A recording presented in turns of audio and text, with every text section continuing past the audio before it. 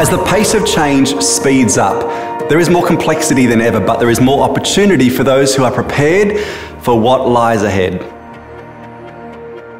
In order to stay relevant and maintain momentum, organisations, leaders, and individuals need to not just anticipate but preempt the very trends that are easy to miss if you don't know where to look.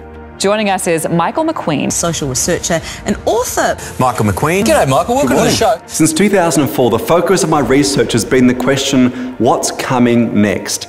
As a colleague of mine recently put it, it's hard to outrun the future if you don't see it coming.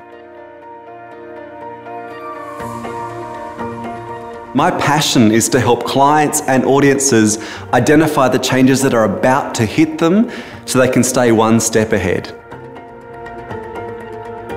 While technology is a key driver of change, too many leaders and organisations are overlooking other forms of disruption that are perhaps less dramatic but no less fundamental. The most significant of these is the enormous demographic transition about to occur in our society.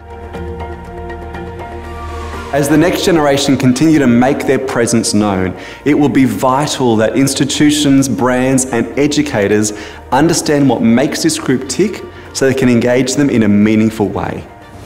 But it's not just generational change we must keep track of from a consumer trends perspective. In this age of transparency, trust is getting harder to earn, but matters more than ever. The marketplace today is demanding values alignment, authenticity, and responsiveness from the brands and the organisations they engage with. We must maintain an open mind, a hunger to constantly learn, to try new things, to innovate, but above all, a willingness to rethink some of the very assumptions that have led to our success in the past.